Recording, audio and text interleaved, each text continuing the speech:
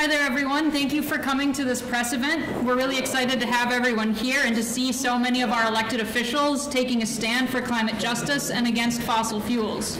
My name is Julie Masuga, and I'm the Extreme Energy Field Organizer for 350 Vermont, and a member of the grassroots group Protect Geprags Park. Together with our volunteers, we organize fossil fuel resistance in Vermont and throughout our region. Today, with our legislators, we are taking steps to prevent new fossil fuel infrastructure in the state, both to prote protect people, wildlife, water, and land from these projects, and to protect our climate from the greenhouse gases that they would emit. On the national level, we're seeing amazing proposals like the Green New Deal, which calls for a halt to all new fossil fuel extraction, infrastructure, and subsidies by 2035 while ensuring a fair and just transition for workers, folks of low income, communities of color, and indigenous people. While we are definitely in support of all of that, we cannot wait a single session more not to take action at the state level, which is why we're so pleased to have legislators doing that right here today. With that in mind, I would like to introduce Mari Cordes. She's a freshman legislator from Addison 4, a nurse at UVM Medical Center, and an activist for all kinds of justice. After listening to her constituents speak about their experiences of being threatened with eminent domain for Vermont Gas's new pipeline, she decided to propose changes to Vermont's laws regarding the condemnation of land. Thank you, Julie. Thank you, everyone, for being here. H-175, an act relating to prohibiting utilities from using eminent domain for new fossil fuel infrastructure. And I have to be honest, it is the people, especially my neighbors and friends in Addison County, that I must credit for their perseverance in protecting not only our environment, but our communities from very real potential disaster. And not only our environment, but lands far away that fuel extraction has devastated. Enormous resources, including precious time that we do not have, have already been used over the past few years over this gas pipeline that benefits very few in the short term and brings lasting harm to so many resources that could have been focused instead on clean energy infrastructure and some of our neighbors experienced extended and enormous loss as their beloved homes and homesteads were taken from them through eminent domain. Others did not lose their homes, but experienced incredible stress defending themselves from it. Even though we face seemingly insurmountable odds, I have hope because our will is strong. We have faced extreme challenges before, such as passing the Clean Air Act of 1970, after which pollutant emissions dropped 73% between 1970 and 2017. And in clean water, in October of 2017, the Natural Resources Defense Council stated that industry-specific discharge standards now prevent more than 700 billion pounds of toxic, pollu toxic pollutants every year from being dumped into the nation's waters. So those are just a couple of examples showing you that we can do it if we join together. A few points about eminent domain. Federal eminent domain has two main applications. Limits imposed by the federal Fifth Amendment on eminent domain under state law. So under the federal Fifth Amendment issue, we are proposing by this, by H175, to limit, not to expand, eminent domain. It is therefore highly unlikely to be a Fifth Amendment issue. The other, um, the other use is of federal courts um, through federal statutes, uh, such as the Federal Power Act, which authorizes the Federal Energy Regulatory Commission, or FERC, to approve of regulations that involve uh, interstate utility lines, for example, or the Natural Gas Act. It does not preempt Vermont law. Federal agencies use federal eminent domain statutes. State agencies use, such as the Public Utilities Commission, apply state eminent domain statutes. So each state gets to decide for itself when and how to give away that power. For a federal court to hold that state, that a state must, over its objection, allow use of its power to further fossil fuel use would be an extraordinary impingement on the 10th Amendment, which reserves all powers to the states that are not necessarily granted to the federal government by the Constitution. This is not just a property rights issue. It's not just a personal rights issue. It is a public health and safety issue. And you're going to hear more about that from other speakers today. Finally, we have little time left to make major course corrections. We must invest in a fossil-free future now. Thank you to the so many who have been working so hard. And I will say, I believe, and we have demonstrated that when the people lead, the leaders will follow. Thank you.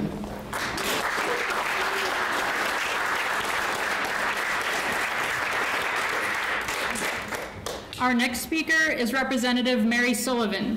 She is a fierce advocate for climate-related legislation and recently introduced a bill, H51, which would put a ban on any large new fossil fuel infrastructure in the state. It had the support of 31 co-sponsors and nearly 1,600 Vermonters who signed a petition in support of it. We're so pleased to join Mary in championing this bill.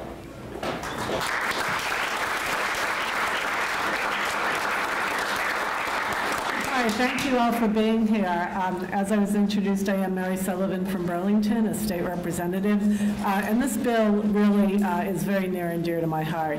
Um, H51, uh, with its um, over 30 co-sponsors, really is in such a good state because so many of you out there um, called your legislators, really got people interested, explained the bill, explained the importance of it, and that type of advocacy makes all the difference in the world. Um, when you look at fossil fuel infrastructure, we read all of the reports that come out of the United Nations, out of this country, out of you know every type of uh, plan that we we need in order to make this continue to make this uh, planet habitable for um, human population. And why on earth would we invest in something that has a 20 or 30 year payback when we know we really have to switch the direction of our economy so quickly? So uh, we hope to see this, uh, this bill moving forward. Um, if you want to know what you could do, you could certainly be in touch with your own legislator um, and really start, you know, asking what they're doing to help promote this um, bill. So thank you all for being here, and let's keep moving on.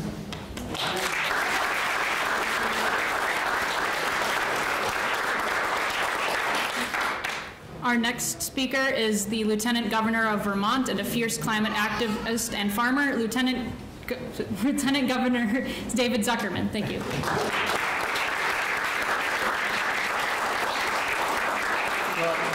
Uh, thank you for just a brief moment to speak. And I uh, was going to come up and stand in solidarity uh, when I heard about this, and I appreciate the opportunity to say a couple of words. Uh, this morning, I um, put out on Facebook a post from Greta Thunberg, who I'm pretty sure everybody in this room is familiar with, uh, that really uh, went to the heart of uh, some of what we're up against and also some of how powers that be try to belittle or disgrace or attack those people who are standing up for the future that we know we have to have in order to have a livable planet for ourselves and, and the other flora and fauna of our planet, because it's not just about us. And um, I was thinking about her uh, and then hearing our great leaders in the legislature here speaking. And then I was looking around at the group that's behind me, and no disrespect to some of the men, including myself, but we have had women leading the way on these issues for decades. And it's finally time that women are ascendant in politics from Alexandria Ocasio Cortez to Speaker Pelosi, who wasn't great on this particular topic with the Green New Deal, I know. Um, but uh, we, we are in a new time. And we have these opportunities to set a new agenda and a new vision for our communities, for our livelihoods, and we have the opportunity through renewable energy and other sources, and through conservation, and through thinking, and through working with our communities to do exactly what 350.org is talking about, to implement the kinds of laws that Representative Cordes and Mary Sullivan are talking about. But, as was mentioned at the end by Representative Sullivan, it takes people. Democracy is about people. The word is right in there, demos, it's about people. And we are seeing across Vermont and across this country people stepping forward with the vision that we all want to have together. And so I want to thank all of you and thank all the folks here for being some folks. I've seen Brian at these kinds of events and many others for decades, uh, but also all the new people getting involved. And that if we work together, we are the majority. That's clear. Sometimes money and other influences have had more power in the past. But we are taking over. We are shaping a new future. These bills and the folks here and you out there are a part of that. So I just want to thank you for the work you're doing and encourage you to stay engaged and involved so we can get these bills across the finish line. Thank you.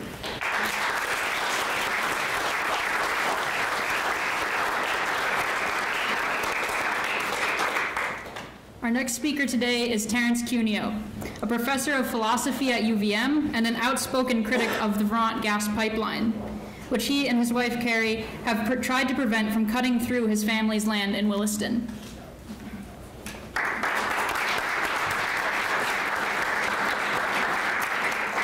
Hi there. They, uh, they asked me to say a few words uh, about our experience. Um, and so I'm going to do that. Uh, just take a few, few minutes, as I say. Our experience was one of uh, hearing rumors that the, the pipeline was coming, uh, getting a letter uh, in the mail one day, and uh, which stated something to the effect that um, uh, there's a pipeline coming through your property. You can either uh, accept X amount of money, which wasn't a very large sum, or you, your land will be taken by eminent domain. Now, if, if you're a landowner owner like myself, uh, you haven't thought about eminent domain. You haven't thought about pipelines. You, you, don't, you have no idea why they would want to run a pipeline through your property. So it, it faces uh, landowners with a lot of questions that they're just unprepared to answer. And what, what I found is that when we asked the questions, um, it was very, very difficult to get satisfying answers to the questions. So, for example, there were safety issues. If they were to run a pipeline through our property, what am I putting my family in harm's way? And and it was really hard to get good answers as to you know whether there was any sort of state uh, oversight or federal oversight of these things. Turns out there really isn't. Uh, what does it do to one's property value? Um, if you have a pipeline running through your property, does this devalue your property? If so, how much? It was almost impossible to find uh, reliable information about that simply because uh, this sort of thing really hadn't happened in Vermont, and it was very difficult to make cross-state comparisons to states like New Jersey or California where it does happen. Um, there were questions about uh, the legal issues. Who's going to represent us? How are we going to pay for that? As it turned out, um, it took a petition on the part of landowners to even uh, persuade the government to, uh, the governor to provide any money for legal representation to figure out what to do. There were moral issues. As, as a landowner, you're thinking, goodness gracious, a pipeline? This is the last thing you want through your property. Uh, this is the last thing we need to be doing at this point. And, you know, are you uh, responsible at that point for taking a stand on moral grounds uh, against such a thing. So these sorts of questions were really uh, very difficult to work through, and I should say probably also, you know, even though we did go through the process of eminent domain to uh, a certain point, it's really the threat of eminent domain that does the work, right? It's you know, it's basically, uh, you know, it's it's it's a pistol in the ribs. You you you have to do this or that, and uh, as landowners, we're just not equipped to have the resources uh, at our disposal and the time to make really good and informed decisions. Um, um, I'll end with that. Um, it's a very unfortunate experience. I wouldn't wish it upon anyone.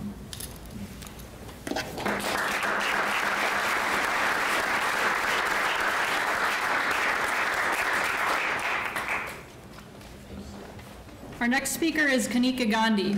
She's here at the State House day in and day out, working for as VPIRG's clean energy advocate. She pushes for policy solutions such as low-income weatherization, energy efficiency, and electrification, as well as the bills that we're presenting here today.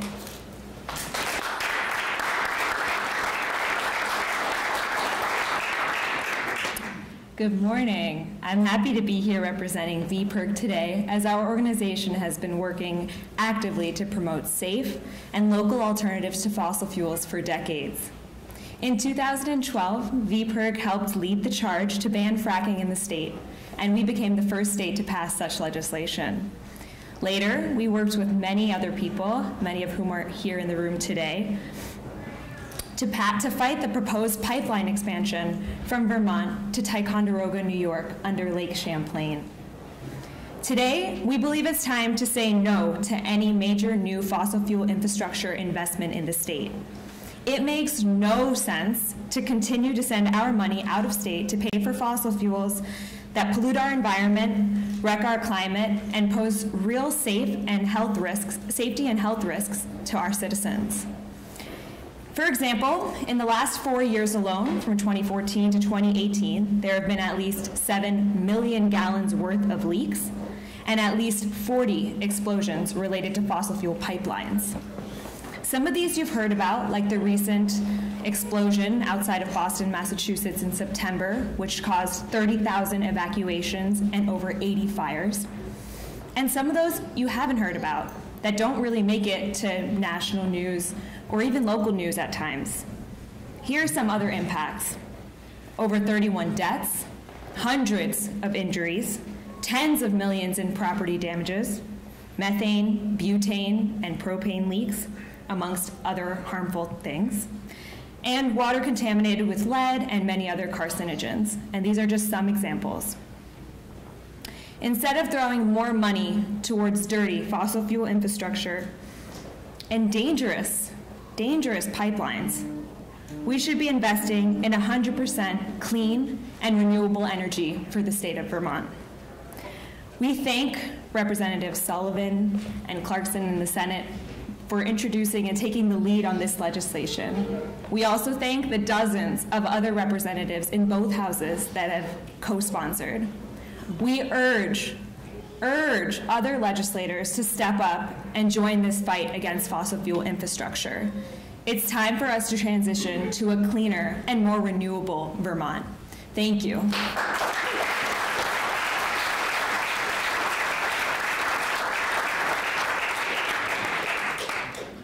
Our next speaker is Maple Perchlik. She's a sophomore at, at Montpelier High School and a representative of the Vermont Youth Lobby, and she's here to tell us from a youth perspective why we need this legislation.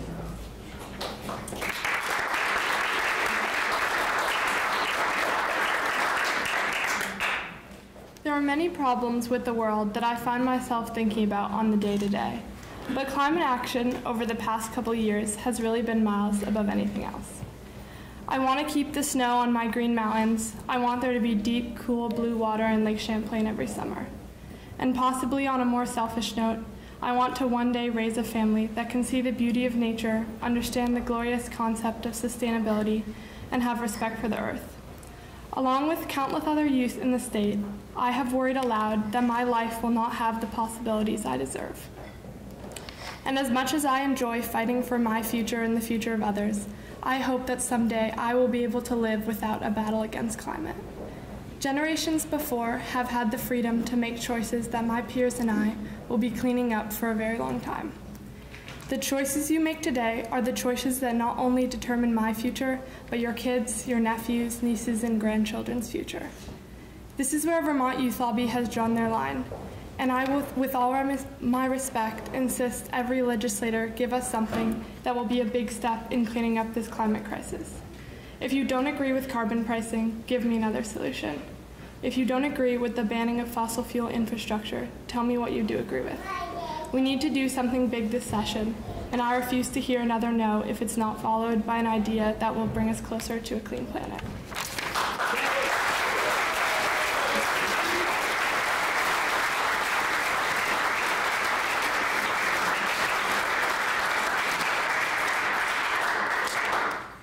To close this out, I'd like to speak on behalf of some of Vermont's most stalwart climate activists, the citizens who brought environmental and safety issues on Vermont Gas's ANGP pipeline to light.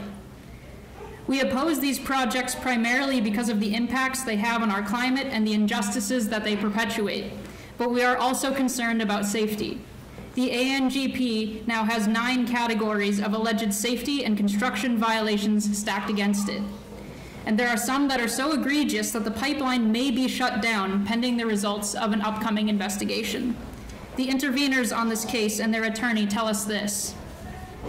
We have spent thousands of hours examining materials from public records requests, which have revealed the shocking recklessness of construction practices for the Vermont gas pipeline. Not only were higher standards agreed to in the Certificate of Public Good largely ignored, even the federal minimum requirements for safe construction were violated. Vermonters now have a ticking time bomb that crisscrosses people's yards and public roads and wild spaces. Given the frequency with which pipelines are leaking and exploding around the country, this poses a grave threat to landowners who essentially had no choice, faced with eminent domain, other than to grant permission for the pipeline construction on their land. Landowners should not be forced into harm's way, and especially not for the purpose of expanding fossil fuel infrastructure. The future of our state and the future of every generation to come after us is dependent on what we do here in 2019. Thank you all so much for coming, and let's pass some legislation this session.